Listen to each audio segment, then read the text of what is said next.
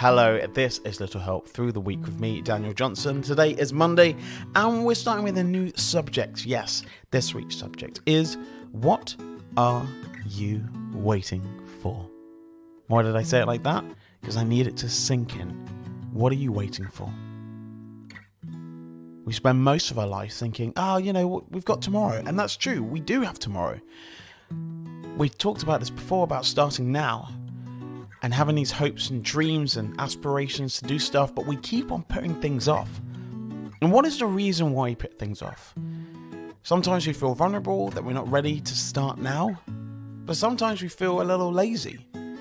We're a little bit worried about starting something and it not going the way that we want it to go. But actually, that is when we learn. We learn in the spaces of when we get things wrong. Not really when we get things right, because we don't really know what goes into getting things right sometimes, unless you put the hard graph in. And you're like, right, I know all the steps how to get this right because I've done it wrong so many times. Well, that's how we learn. So, what are you waiting for? That thing in life that you really, really want, what is it?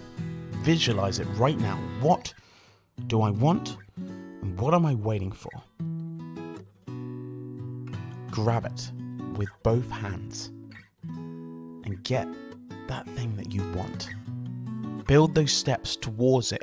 You gotta put in the work, you gotta put in the graft. It doesn't work otherwise. So, what I want you to do is, I want you to write down what am I waiting for? And then write down some answers of what it is. It's that simple.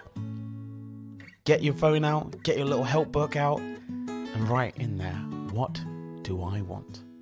I'll see you back tomorrow.